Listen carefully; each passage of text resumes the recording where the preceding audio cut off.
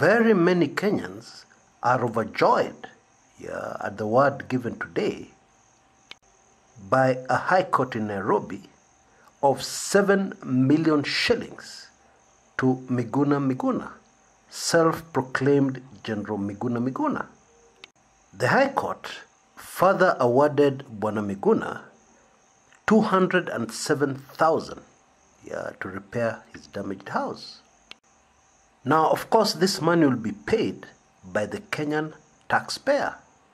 Yep, me and you will have to pay for a bizarre blunder and mistake made by the government of Kenya. You know, it is very difficult, extremely difficult, not to believe that this was a decision, a haphazard decision, made in some bar by drunk Kenyan government officials. Yes, the initial decisions that uh, resulted in this payment of damages, or rather, this award of damages to Miguna Miguna. It is very difficult not to imagine the following conversation amongst responsible, yeah, or rather, people who are supposed to be responsible government official. People who should be well aware that every decision they make is not for themselves, it's not for their ego. Every decision they make affects Kenyans and sometimes millions of Kenyans. And therefore, anybody making decisions at this level should be extremely sober. So the conversation probably went something like this patia mimi taska ingine sasa huyu mtu miguna anasumbua sisi sana what will we do to him then somebody else says si huyu mtu ako na canadian citizenship? Si ako na canadian passport? Na alipata hii passport before 2010 constitution. Ah, hii rahisi sana. Deport him. Is legal is not kenyan. Technical is not kenyan. Weka yeye kwa ndege rudisha ye canada. Huko kwao. Asikuje kusumbua sisi hapa kenya. Well that drunken stupor decision has just cost us 7.2 million. And you might not think this is a lot of money. And indeed it is not a lot of money. But that's not the point. Who gave you permission to waste even one kenya shilling? Yeah from taxpayers. Who gave you that permission? Let alone 7.2 million. Actually there's a bit of reality here or rather shall i call it inside information that maybe many kenyans are not aware of yeah that informed this very terrible decision. You see miguna was initially picked up. Rather he was kidnapped. He was violently kidnapped. Now i strongly believe i'm using the correct english words because sample this. Police yeah or rather plainclothes security personnel stormed his house. They used explosives to blow up his front door. And then they took him to an undisclosed location. So for all intents and purposes miguna had been kidnapped. And of course his family were concerned. Yeah his family is in canada. Because anybody who knows the kenyan government well at least how it was operating at that time would know that the government would easily have turned around and said we don't know where miguna is. Yeah persons unknown kidnapped him and we have no idea where he is. And so the right play yeah and sometimes it can save somebody's life the right play is to put pressure yeah very early right from the word go. And the canadian government through diplomatic back channels yeah started asking the kenyan government where is this man? And so it was probably this pressure from the canadians that gave some genius in quotes somewhere the bright idea in quotes also yeah to deport the man to deport a kenyan. In fact to be very honest with you i have no idea why the government did not save themselves time yeah and settle this thing out of court by facilitating miguna's return. Instead they allowed the thing to go to court if I was in government, I would never dream of building up somebody's political profile because this is precisely what the government did and is still doing. Because had Miguna Miguna not been deported, had he not been taken through all this hell on earth he has been taken through, nobody would be paying attention to him now. Nobody would be listening to anything he's saying now. However, because of this gross injustice, yeah, they're giving Miguna a lot of mileage, yeah, and they still are, which makes absolutely zero sense to me. Now, there's a certain argument which has been going around, and I believe it's still going around, which claims that it's Miguna's fault, that he's refusing to sign some papers. Papers allegedly to restore his citizenship. Now, sincerely, even before the High Court judgment today, this is a no brainer for somebody who has absolutely no legal training or even understanding. Miguna never left the country yeah, so that you force him to sign papers to re enter the country. What happened is that Miguna was forced, forcibly, yeah, deported from his home country. And so, even if you, you want him to sign papers, you need to return him yeah, to the situation he was in before you came in.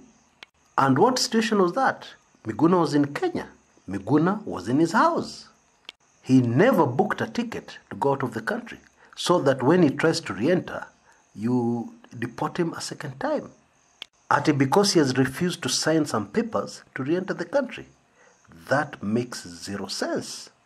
So if you're the Kenyan government, and you're honest and you're genuine about this, what you do first is you return Miguna to the situation he was in before your goons kidnapped him. And then when he's safely back in his house, you can send immigration officials there with papers for him to sign. Yeah? And then Miguna Miguna, while he's in Kenya, while he's in his house, will have to demand an explanation as to why he needs to sign papers. And maybe even go to court to contest signing those papers while he is in Kenya. But you kidnap somebody, you force him out of the country the first time, the second time you put him to sleep, which is completely legal. Yeah, you put him on a plane while he's unconscious. and the man wakes up in an airport in Dubai.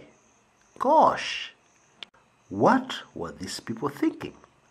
Anyway, let's move into the politics. Yeah, because I've been criticized a lot. People have been telling me, why don't you feature Miguna on your channel anymore? Now, in my view, and this is my personal view, I could be wrong. I'm not always right. In my view, Miguna is a brilliant lawyer, has a brilliant legal mind, but he is not a politician and he does not understand politics. You know, some people find politics disgusting, and with good reason because there's a lot of give and take in politics. There are a lot of things in politics that are very hard to stomach. In fact, a lot of things in politics. You know, former President, uh, American President Bill Clinton, in his biography, said that lawmaking, yeah, which involves politicians, lawmaking is like making sausages. You know, when that sausage is in your frying pan, yeah, in your kitchen, it looks very appetizing.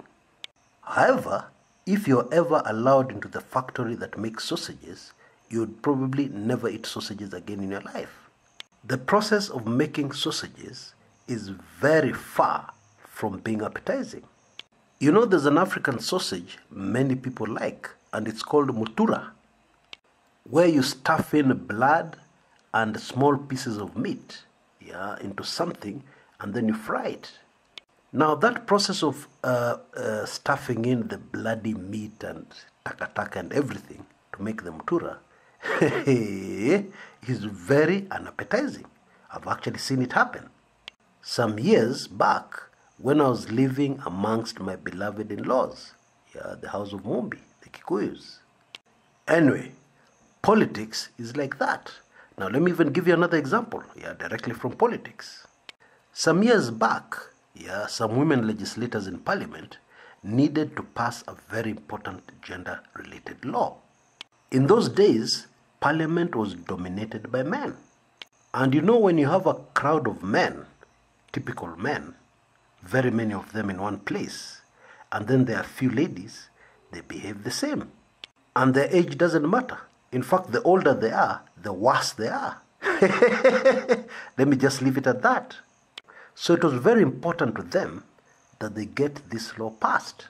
And to do this, they had no choice, yeah, but to approach and lobby these crude and couth men. So you can imagine what they went through, yeah. You approach these uh, legislators, yeah, you tell them, please, I want you guys to vote for this bill. It'll help your daughters, etc., etc., etc. And then these legislators start touching your breasts. Maybe even they start touching your backside. Of course, you can lose your temper and walk away, but then no bill will be passed. You will not succeed. That is exactly how politics is. So you just vumilia and you discuss with them even as they're behaving in such a manner hey, eh, that would make any respectable and even non respectable woman throw up. And they may even ask you for a date as a condition to passing the bill. So, what a wise woman does, it, she tells them the date is on. Immediately, this bill is passed. And of course, when the bill is passed, you will not be seen at that date. Yeah, you get my drift. In the end, you succeed and you get your bill passed. That's how politics is. It's a game of compromise, it's a game of give and take. Now, in my view, what Miguna Miguna should have done, immediately the government gave him this golden opportunity by putting him up there on a pedestal yeah, as a major political player. Indeed, up to today, Miguna is referred to as an opposition, a leading opposition politician. What he should have done, he should have played politics. But what did Miguna do instead? Yeah, he alienated everybody. He even started attacking Raila Odinga, saying that his trouble started, yeah, with the swearing in of Raila Odinga, which of course is true.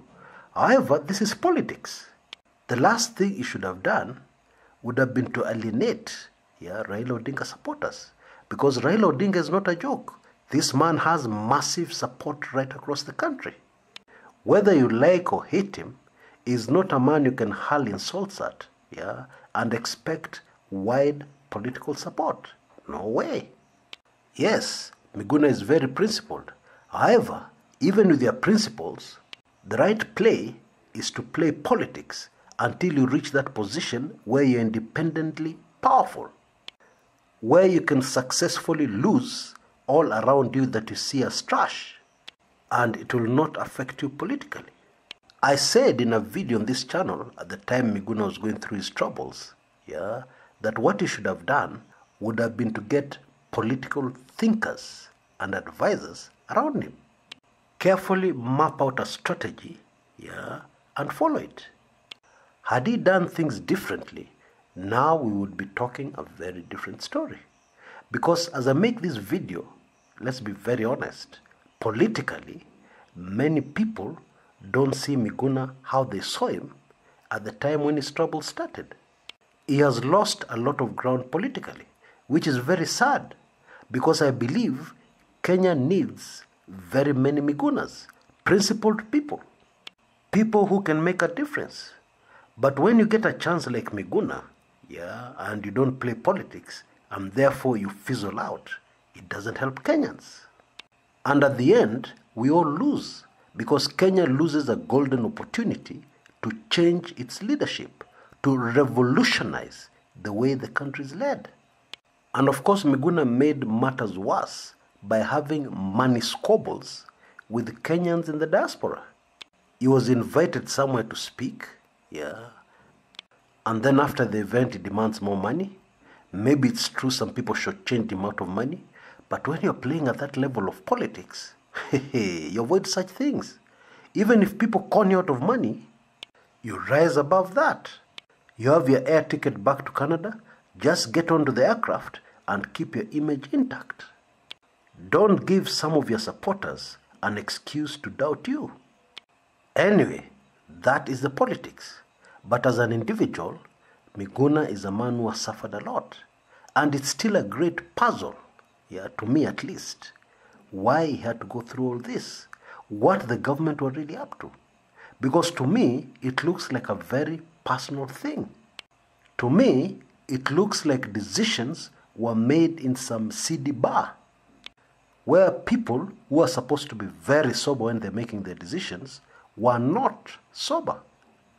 And now, taxpayers have ended up losing a lot. Yeah, court cases, blah, blah, blah, getting officials at the airport to drag him across. Hey, gosh. Eh? And then finally, this court award 7.2 million gone. Assuming that the government will pay. Yeah, because unfortunately, our government has got a very bad reputation of not paying awards. The government has a track record of ignoring court orders and orders from the court. But there's one more thing I'd like to mention before I go the return of Miguna to Kenya.